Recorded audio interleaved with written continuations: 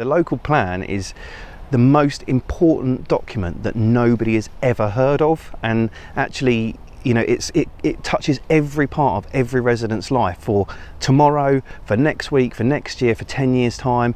Housing development it touches how they're going to live their lives in the economy. It picks up issues around you know social inequality and the things that are really important. The local plan is like a map for the residents to go forward. So even though we have just adopted a local plan, that local plan was started um, in about 2013. So the basis of the map we've got now is quite old, and we need to put in place something as uh, efficiently but quickly to provide a map from now moving forward. The local plan, as Katie has said, is a map, and it's not just a map, it's a map that shows where we will be uh, looking at putting new houses, new employment spaces, new shops, uh, leisure parks. It's a map that shows how the greater Cambridge area will develop over the next 10, 15, 20 years. And it affects everybody. We're very keen to make sure that every resident has a voice. We want to sit with you and make the opportunity for you to be heard. So we're trying, that's why we're here on this video. We can't have everything. If we're going to have so many thousand houses, how do we fit that in? Where do we put it? You know, where do the businesses go? Um, and where would we put the parks and the leisure places and retail space that we need? So these are some of the things that we need to weigh up and decide. We can have this, but we can't have that.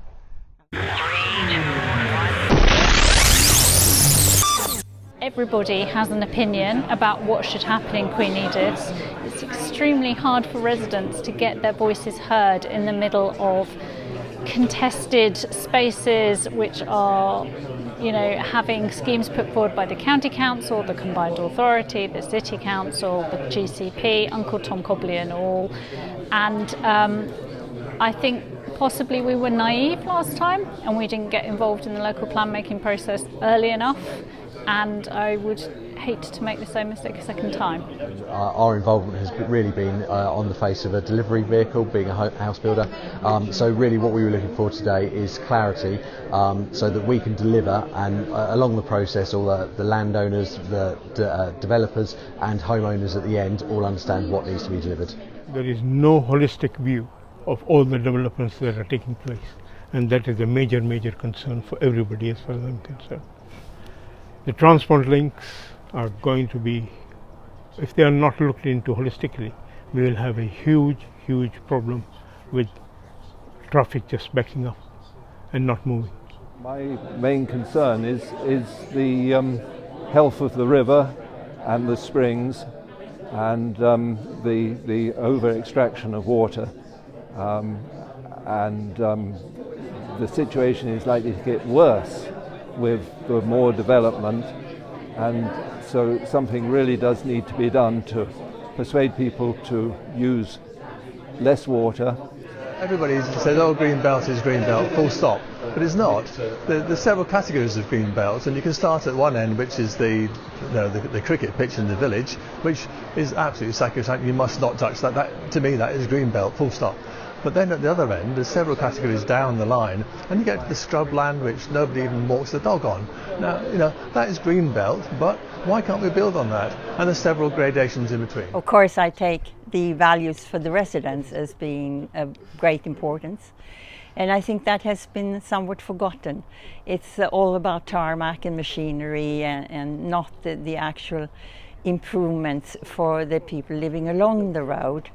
So uh, what I am worried about is air pollution. Will it increase a lot for our residents? I think it's the uh, distribution of the future development in the area needs to be more uh, diversified with regards to um, spreading it out to the other parts of Cambridge and the urban areas. Uh, at the moment it seems to be more heavily loaded onto South Cambridgeshire and the north west of Cambridge um, and other areas don't really seem to have the uh, correct distribution of that future development. There is already a uh, vibrant economy that has um, highly motivated people who are looking forward to driving it forward and want to see growth Um, there's a huge understanding of a need for homes, and so there is willingness and opportunity to to grow the economy and to build homes. There are clearly huge challenges in how you do that, where you put the homes, where you put the jobs, and how you afford to do all of that on top of keeping everything very green. Uh, but this is the place where people think into the future and innovate, and that creates a great opportunity. I think the big issue to do with Cambridge is trying to reconcile the needs of growth, uh, uh, carbon neutral economy, uh, to do with issues around whether or not we want to have people cycling and walking to work. All of those things impact on where we build our houses, and also, simply put, building houses closer to where people work. So there's, for, for me, that's that's crucial. If we are really serious about developing Cambridge in a carbon neutral, sensible, sustainable way, we need to be making it easier for people to get to their places of work closer so that they can cycle, walk, and get the bus. And one of the thing, really key important things I think we need to be looking at is the supply of land coming forward. At the moment, we just try and achieve a five year uh, land supply for housing, but we need to look beyond that and try and look towards you know 10, 15 year land supply so people have certainty of where development's coming forward. So the next formal stage will be issues and options consultation, which is going to be later on this year, probably around about November time. Um, over the next two months we'll be formulating all of the comments that we've had back from people from these two workshops the previous two workshops last week and then trying to feed that into a really high level document that outlines those challenges and those opportunities so we can then go and do some really focused consultations. So again probably a series of workshops probably even greater coverage. We're going to look to really focus on some of the interest groups and some of those areas that we haven't managed to reach in this this process and kind of refine that down a little bit. But that will be will be any time from October through to November we'll be you know sending out updates on that process and we really want people to get involved in that. So that that's a really important part for us